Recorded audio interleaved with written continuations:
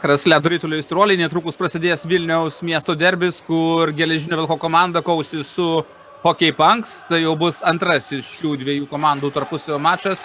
E, Pirmasis vykęs prie rinktinės žaidėjas e, atstovauja Hockey Punks e, komandai. Taigi tikrai yra patyrusių žaidėjų, ypač kalbant apie Hockey Punks komandą. Ir šiandien turėtų būti tikrai įdomi kova. Edgaras Rubakovas yra daugiau Hockey Punks komandos gretose bet iš principo žaidimas yra apylygis ir kol kas nieko keisto, kad 2-0. Dega švieslinti iki šio momento, dabar jau 1-0. 1-0 įverti muša Hockey Punks ir Punkai įsiveržė į priekį. Tai taip, antro kelnio pradžia 1-0.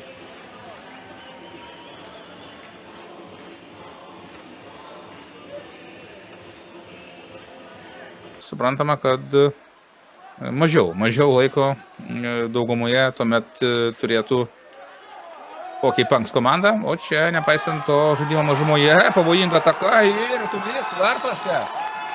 Tai taip, 12 ketvirtakas, žaidžiant mažumoje, perimtas rytulys. Keičiasi kai kurie žaidėjai, geležinio komandoje, keičiasi žaidėjai ir Hockey Punks gretose.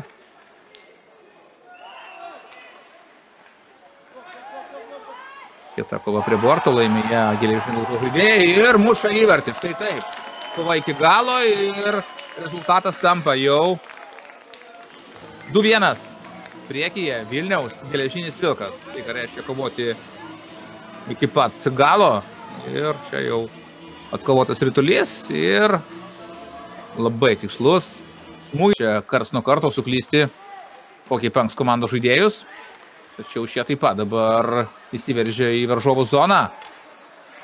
Ir buvo arti tikslo. Išlyginti rezultatą nepavyko. Čia krenta keli žaidėjai, karšta prie vartų. Ir išlyginamasis įvartis. Tai taip.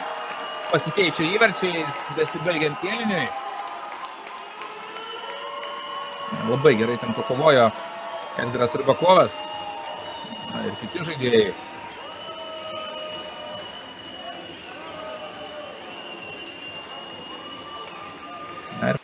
Sakyčiau, vartininkai žaidžia patikimai, kažkokių širšių klaidų nėra, o čia gali būti pavojinga. Ir įvartis, tai taip, klaida ir aukšto lygio žaidėjas Edgaras Rybakovas muša savo antrą įvartį, taip, vienas iš lyderių, arba sakyčiau, netgi vyksta iššokti vienas prieš vieną. O čia jau geležinis vilkas.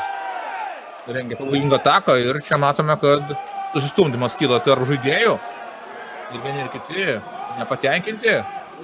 Imboje atlapų du žaidėjai ant mūsų solelio, tačiau vietoj jo galėjo žaisti kitas. Taigi formaliai dabar vieno žaidėjo. Sakykim, persvarą turi, ir jau du žaidėjai išvaryti. Taigi kažkiek laiko dar 3 prieš 5 tiek žaisti pankams ir tai yra galimybė arba šansas uh, komandai Čia tuščius vartus, į tuščius vartus yra smūgiuojama, taip nepavyko vartininkų iššuoti rytulio, niekas iš gynėjų e, neišmetė rytulio toliau. Čia tai baigsis, jeigu, tarkim, Vilniečiai pakeis vartininką ir paskui praleisi tuščius vartus, visokių scenarijų gali nutikti per tas likusias porą minučių. Išlyginamasis įvertis vis dėlto įmuša Vilniečiai, tai yra geležinis vilkas daugumoje ir rezultatas tampa lygus 2-2.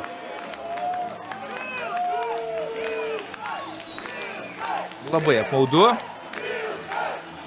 Šansų turi daugiau įmušti įvartį. Ir pademonstravo.